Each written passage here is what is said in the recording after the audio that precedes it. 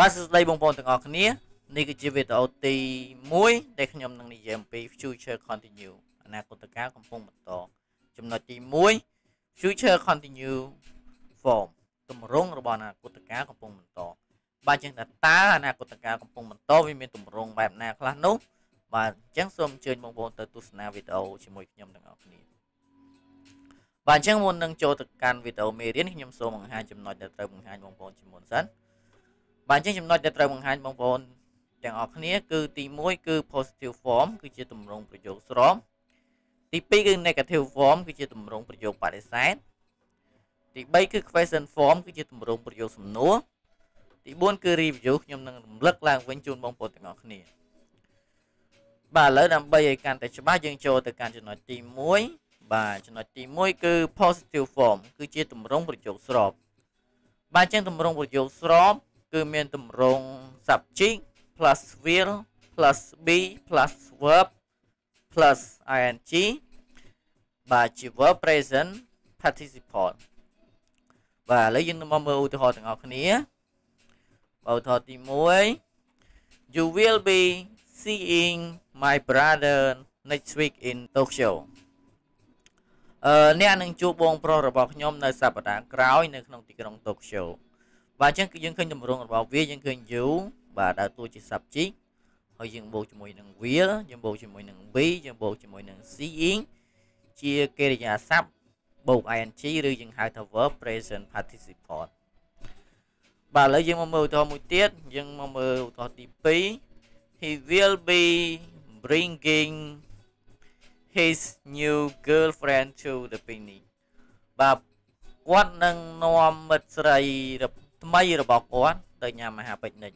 បាទអញ្ចឹងទម្រង់របស់វាយើងឃើញដូចគ្នាយើងឃើញ he បាទដើរតួជា subject យើងបូកជាមួយនឹង will យើងបូកជាមួយនឹង be យើងបូកជាមួយនឹង bringing ជា verb ing បាទជាកិរិយាសព្ទ present participle បាទតាឥឡូវយើងមកមើលឧទាហរណ៍មួយទៀតឧទាហរណ៍ទី3 they will be reading about the cold war for the next lecturer បាទពួកគេនឹងអានអំពីប្រវត្តិនៃសង្គ្រាមត្រជាក់សម្រាប់ការបង្រៀននៃមេរៀនបន្ទាប់បាទចឹងយើងមើលតម្រងរបស់វាគឺមានដូចគ្នាយើងឃើញ day បាទ day ដែលទួច subject យើងបូកជាមួយនឹងវាយើងបូកជាមួយនឹង we ហើយយើងបូកជាមួយនឹង reading ជាកិរិយាសព្ទបូក in ing បាទតោះឥឡូវយើងមកមើលចំណុចទី2មួយទៀតចំណុចទី2គឺ negative form គឺជាទម្រង់ប្រយោគបដិសេធ បាទអញ្ចឹងទម្រង់ប្រយោគបដិសេធគឺមានទម្រង់បាទ subject plus will plus not plus be plus verb plus ing ជា verb present participle បាទឥឡូវយើងមកមើលឧទាហរណ៍ទាំងអស់គ្នាបើឧទាហរណ៍ទី1 they will not be telling us much about next week's test ពួកគេនឹងមិនប្រាប់យើងច្រើន ទេអំពីការធ្វើតេស្តនៅសប្តាហ៍ក្រោយនេះបាទអញ្ចឹងយើងឃើញអឺទម្រង់របស់វាយើងឃើញ day ជា subject បាទយើងបូកជាមួយនឹង will ហើយយើងបូកជាមួយនឹង not យើងបូកជាមួយនឹង be យើងបូកជាមួយនឹង telling ជាកិរិយាសព្ទបូក in ing បាទឥឡូវយើងមកមើលឧទាហរណ៍បន្ទាប់ឧទាហរណ៍មួយទៀត you won't be doing much cooking this week បាទអ្នកនឹងមិន ធ្វើម្ហូបច្រើនទេក្នុងសប្តាហ៍នេះបាទអញ្ចឹងយើងឃើញតម្រង់វាដូចគ្នាដែរយើងឃើញ you យើងយើងដាក់ you ជា subject ហើយយើងបូកជាមួយនឹង one បាទ one ហ្នឹងគឺ will បូក not បាទយើងបូកជាមួយនឹង be យើងបូកជាមួយនឹង doing គឺជា verb ing បាទយើងមកមើលឧទាហរណ៍ទី3មួយទៀតឧទាហរណ៍ទី3 the children will not be walking to school when it's snowing បាទក្មេងៗនឹងមិនដើរទៅសាលារៀនទេ នៅពេលដែលមានព្រឹកធ្លាក់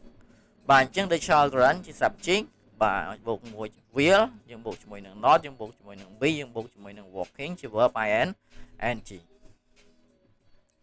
បាទឥឡូវយើងមកមើលចំណុចទី3មួយទៀតបាទចំណុចទី3គឺ question form គឺជាទម្រង់ប្រយោគសំណួរបាទអញ្ចឹងទម្រង់ប្រយោគសំណួរបាទគឺមានទម្រង់ will plus subject plus be plus verb plus ing ជា verb present participle បាទឥឡូវយើងមកមើលឧទាហរណ៍មកឧទាហរណ៍ទី1 Will I be reading any novel written this semester បាទតើខ្ញុំនឹងអានប្រឡំលោកមួយណាឬក៏ណាមួយនៅឆមាសនេះបាទអញ្ចឹងយើងដាក់វាលនៅខាងមុខហើយយើងបូកជាមួយនឹង i ជា subject យើងបូកជាមួយនឹង b យើងបូកជាមួយនឹង reading ជាកិរិយាសព្ទបូក in ing បោធរទី2 will he be speaking with his advisor this afternoon បាទតើគាត់នឹងនិយាយជាមួយនឹងទីប្រឹក្សារបស់គាត់នៅរសៀលនេះឬបាទអញ្ចឹងយើងប្រយោគទម្រង់របស់វាយើងឃើញដូចគ្នាដែរយើងដាក់វានៅខាងមុខហើយយើងបូកជាមួយនឹង he យើងបូកជាមួយនឹង be យើងបូកជាមួយនឹង speaking ជា verb in ing បាទបាទឥឡូវយើងមកមើលធម៌ទី3មួយទៀតបាទ will he be skiing in the morning and afternoon បាទតើពួកយើងនឹងជិះស្គីនៅពេលព្រឹកនិងពេលរសៀលនេះឬទេ បាទអញ្ចឹងទម្រង់របស់វាដូចគ្នាគឺយើងដាក់វានៅខាងមុខហើយយើងបូកជាមួយនឹង v បាទយើងបូក v ហើយ v ជា subject យើងបូកជាមួយនឹង b យើងបូកជាមួយនឹង skiing ជា verb បូក in ing ឬយើងហៅ verb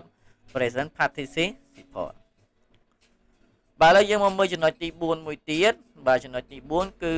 review បាទយើងនឹង review ឡើងវិញយើងនឹងរំលឹកសារឡើងវិញបាទអញ្ចឹងនៅក្នុងអឺ future continue បាទអនាគតកាលកំពុងបន្តគឺមានទម្រង់3បាទគឺទម្រង់ទី1គឺ positive form ទម្រង់ប្រយោគស្របបាទទម្រង់ប្រយោគស្របគឺមាន subject plus will plus be plus verb plus ing ជា verb present participle បាទទម្រង់ទី2គឺទម្រង់បដិសេធគឺមានទម្រង់ subject plus will plus not plus be plus verb plus ing ជា verb present participle បាទទម្រង់ទី3គឺទម្រង់ប្រយោគសំណួរគឺមានទម្រង់ will plus subject plus be plus verb plus ing ជា verb present participle បាទអញ្ចឹងវីដេអូរបស់ខ្ញុំនៅក្នុងថ្ងៃនេះគឺមានតែប៉ុណ្្នេះទេបាទហើយ in next video នៅក្នុងវីដេអូបន្ទាប់ខ្ញុំនឹងបង្ហាញបងប្អូនទាំងអស់គ្នាអំពីចំណុចទី2 the definition of future continue និយមន័យរបស់អនាគតកាលកំពុងបន្តបាទអញ្ចឹងតើថាតើអនាគតកាលកំពុងបន្តវាមាននិយមន័យឬយើងប្រើប្រាស់វារបៀបណាខ្លះអញ្ចឹងសូមអញ្ជើញបងប្អូនទៅទស្សនាវីដេអូបន្តជាមួយខ្ញុំទាំងអស់គ្នាបាទអរគុណច្រើនជម្រាបលា